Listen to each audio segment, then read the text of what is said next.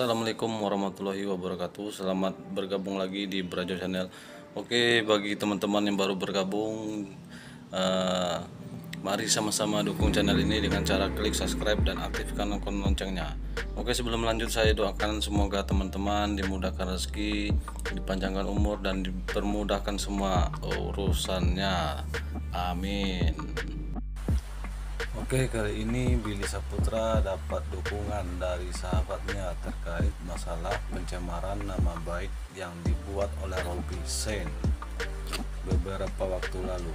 Menurut Ibrahim, Billy adalah orang baik dan tak ada niat Billy untuk menghina siapa pun. Selain itu, dia juga mengatakan Billy sebenarnya tak ada niat jelek terhadap uh, Robisin dan istrinya. Dia mah orang soleh. Allah nih mah nggak ada niat jelek. Pokoknya insya Allah yang terbaik ya pokoknya.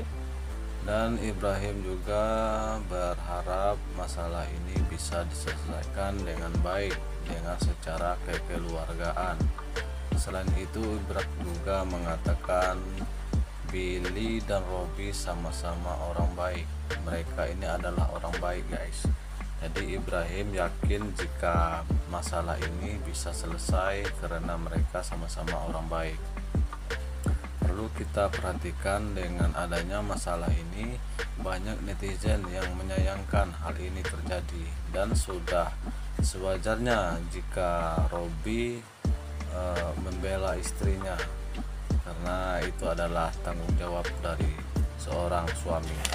Yang terbakso Benial di dikirim ya gue yakin Bismillah gue bersaksi brother Robi Shine dan Billy Saputra orang baik. Ya ini kesalahpahaman aja. Insya Allah mereka damai karena gue nah, jika Robi tidak terima itu sudah wajar ya guys.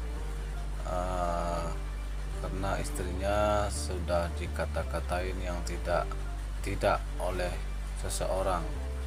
Uh, karena Robi adalah suami yang bertanggung jawab Selain itu, Robi juga siap memaafkan Billy jika dia benar-benar sadar dan permintaan maaf itu juga harus disampaikan kepada publik. Dengan demikian, Robi siap mencabut laporan yang sudah diproses oleh pihak kepolisian, guys. Nah, mari kita eh, sama-sama uh, menjaga lisan kita agar kita uh, tidak membuat orang yang di sekeliling kita menjadi tersinggung guys. Nah sekarang kita bahas akting Billy Saputra saat syuting SCBD Oke sementara itu di lain kesempatan di lain lokasi uh, Amanda Menopo juga mendapatkan tambahan skenario dengan tema pencarian jodoh putri lewat cinta God Talent yang tayang di RCTI Nampaknya Amanda Menopo juga senang dengan sinetron ini guys.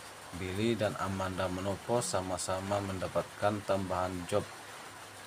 Uh, Billy dapat tambahan job di acara Siapa Mau Jadi Juara dan Amanda Menopo mendapatkan job tambahan di acara pencarian jodoh putri lewat Got.